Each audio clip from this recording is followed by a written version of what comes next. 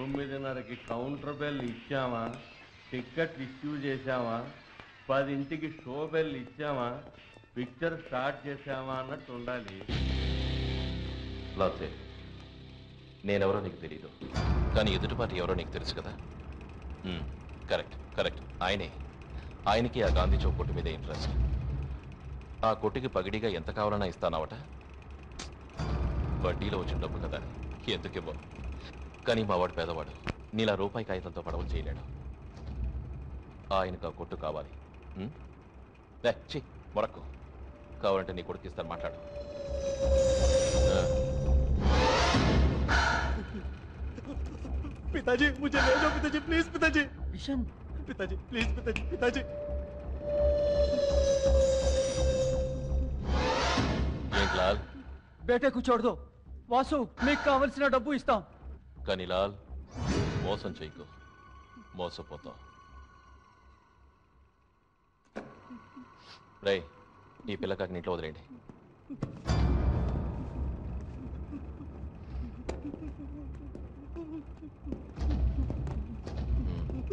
Super దెబ్బ కొట్టావు వాసు.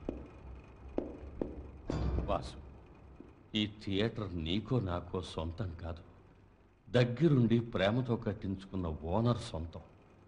నేను ఇక్కడ పనిచేస్తున్నాను నువ్వు పడుకుంటున్నావు. అంతే తేడా. మళ్ళీ నీ మూలంగా నా పాత భాగవతం బయటపడిందనుకో. నా బతుకేమవ్వాలి వాసు.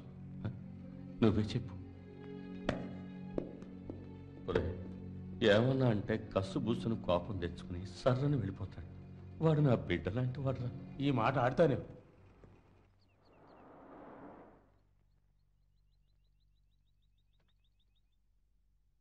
థామస్ ఇదే మా కాలేజ్. ఇక్కడ కర్ణాటిక్ మ్యూజిక్ నేర్పుతారు డాన్స్ కూడా నేర్పుతారు. నువ్వు విన్నావనుకో అద్దిరిపోతావు. ఉండు సంగీతం మీద నువ్వు పిచ్చితో అలా పరిగెత్తుకు పడతావు. జాగ్రత్త. నువ్వు జాగ్రత్త.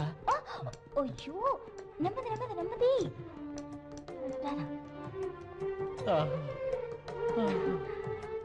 విన్నావా? Good morning madam. Rammohan tour ఎలా ఉంది? చాలా బాగుంది మేడం. జో వీరే మా madam. God bless you madam. పాపం ఇతని కళ్ళు లేవు. మేము టూర్కి వెళ్ళినప్పుడు మేము వచ్చే ట్రైన్లో పాడుతూ ఆడుకుంటున్నాడు. బ్లైండ్ స్కూల్లో చేరుస్తా అని చెప్పి నేనే ఇక్కడ తీసుకొచ్చాను. ఆ మొహం చూడండి. సంగీతం చెవిన పడ్డ పరవశం.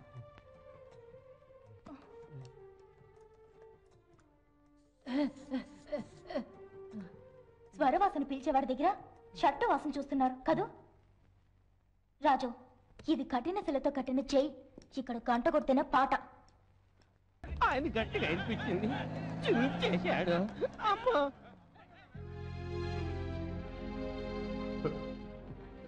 జీవి ఎన్నేళ్ళు ఎన్నేళ్ళైంది జీవి